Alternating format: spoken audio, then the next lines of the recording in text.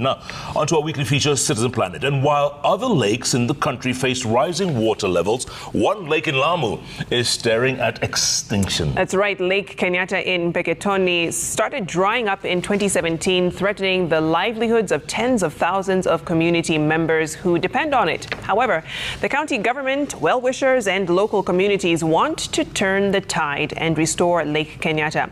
Our Environment, Conservation, and Climate Change reporter, Agnes Olo, tells us more.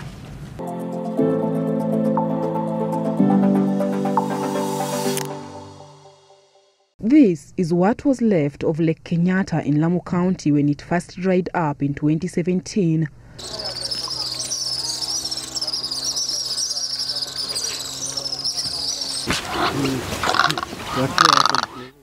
Formerly known as Lake Mukunganya, it's a freshwater lake in Mpeketoni.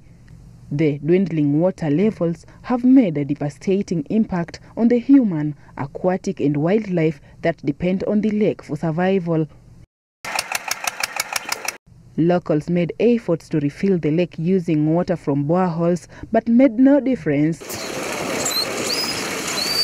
Tulianza kupata kuathirika, maji yalianza kupungua na lake ikawa inabadilika kuwa na matope. E, wanyama wengi wa pori waliumia, vipo, viboko ndio walikufa kwa wingi na tukasikitika kwa jambo hilo. 2017 mimi niliwahi kuja hapa nikaona hii lake. Nilikuwa naangalia maji nipate wapi.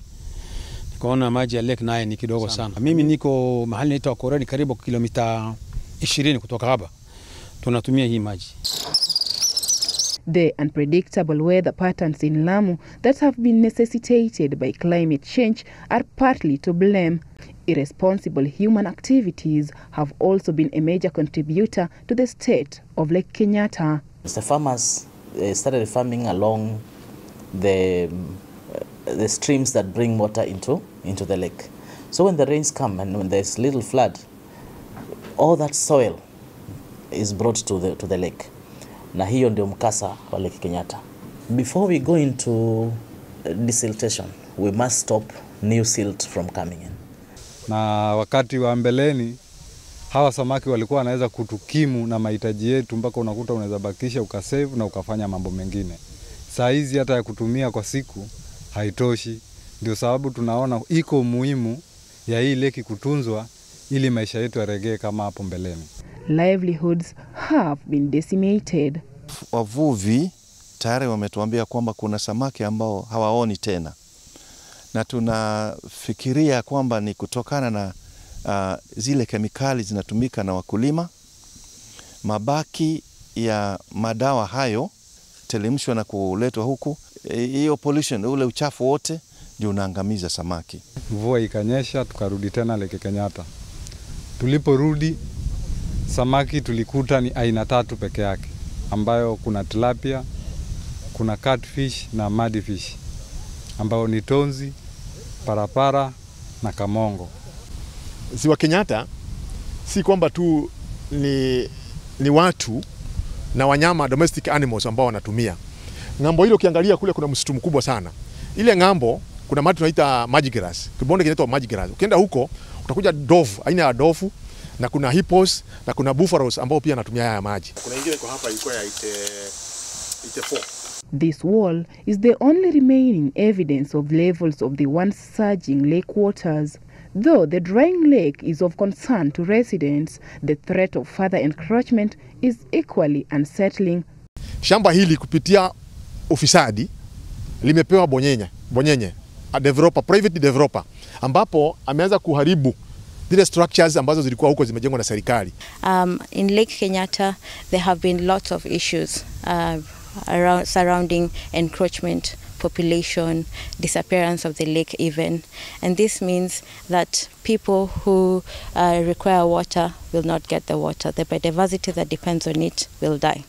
Uh, wale watu wanaishi katika uh, njia za maji uh, ni lazima tuwatafutie mahali pengine. Wafugaji ambao na wao pia wanalisha mifugo uh, katika zile njia, na hapo waondoke ili tu, uh,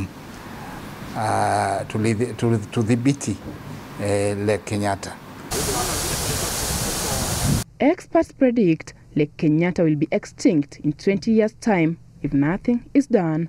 However, the Lamu County government, the local community, and other stakeholders are making efforts to revive the lake and its ecosystem. Tutahusisha uh, mashirika na wizara husika ili e, pamoja na wafadhili, kwa sababu ile pesa itatakikana uh, ni pesa nyingi sana. We are working with the county government and other stakeholders to implement the roadmap that was developed. And this roadmap talks about, uh, first of all, ensuring that communities are engaged, are aware about the issues and their impact on the lake. Secondly, uh, looking at solutions around conservation uh, and restoration of the lake. And this means uh, mixing matching species that will suit the lake ecosystem and ensure that the catchment is resto- restored. Lake Kenyatta is partly fed by rainfall as well as water at the subsurface level.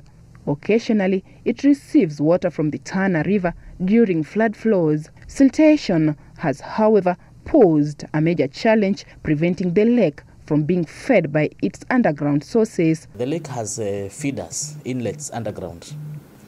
With that siltation, it blocks those feeders so that now the lake depends entirely on runoff. Uh, desiltation will open up those uh, uh, feeders. The story of Lake Kenyatta is a rather rare case, with most lakes in the country experiencing rising water levels, according to 2021 government report.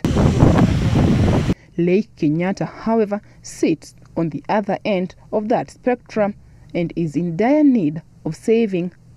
In the past, there was no, there was only way towards the periphery, towards the end of the lake, lakini sasa kuna magugu katikati ya lake, na hiyo magugu sio kwamba ina float, inamea, meaning that lake now you can walk across, hata kama unaona kuna maji, is very shallow. The hope is the efforts being put in place will bring one of the Kenya's oldest natural freshwater lakes back to life. because kama ni mambo ya, ya demarcation ya Kenyatta, this one will assist. Agnes Olokachola, Citizen TV,